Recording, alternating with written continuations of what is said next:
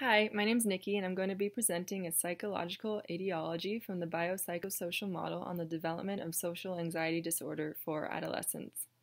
I looked at two articles, one from Leigh and Clark, 2018, and the other from Joukowsky et al., 2018. The first focused on understanding social anxiety disorder in adolescents, and the other focused on psychological explanations.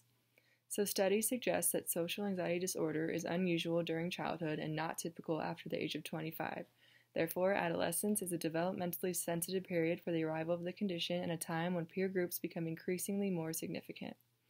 And females seem to be more affected than males.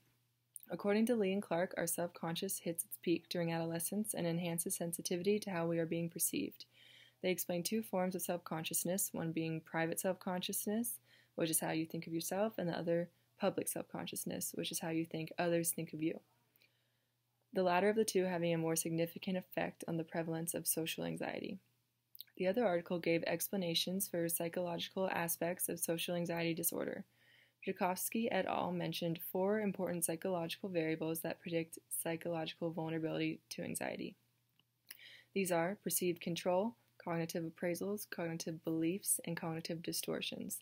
A lack of perceived control can be explained by children who repeatedly experience a lack of control over the events in their lives and that may result in them viewing the world as unpredictable and dangerous. Cognitive beliefs and distortions basically pertain to an individual's ability to cope and tolerate negative life occurrences. Particular stressors in a person's environment do not directly cause their emotional reactions or problematic behavior. Instead, unhealthy reactions are the outcome of a person's distorted beliefs. I think from a clinician standpoint, social anxiety disorder can be treated with exposure therapy and behavior therapy. Since onset is typically during adolescence, parents should be knowledgeable of any symptoms that may occur during childhood and extra cautious during the transition to adolescence.